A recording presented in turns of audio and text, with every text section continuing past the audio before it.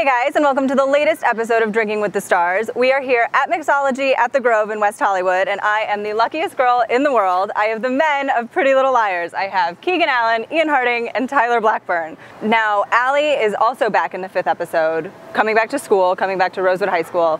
Um, what can and she used to be the the villain, and now she's kind of the victim. She's like the ultimate victim. Yeah. So how does that work? So tell me about scenes that you've shot or anything where she's really now this like incredibly vulnerable girl.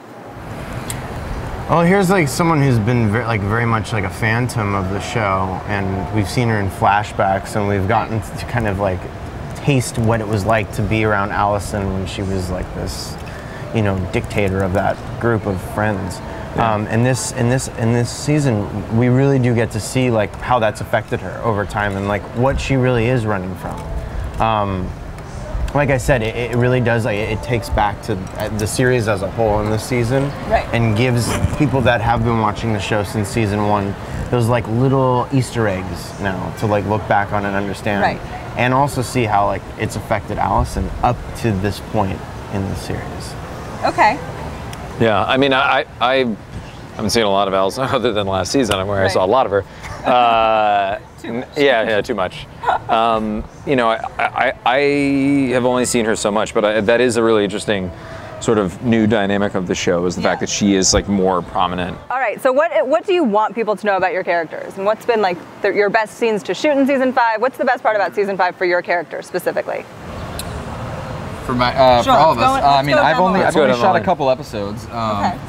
but I feel like a lot of the old original Caleb is, is back. Like Yeah. I think that he's definitely he has an edge to him, and he, uh, you know, he has like a chip on his shoulder, and that's fun to play. And I think he kind of started like that in the show, and then he became like, you know, big softy. Kind of a puppy dog. Yeah. yeah, and so now he's back to just like not giving a shit.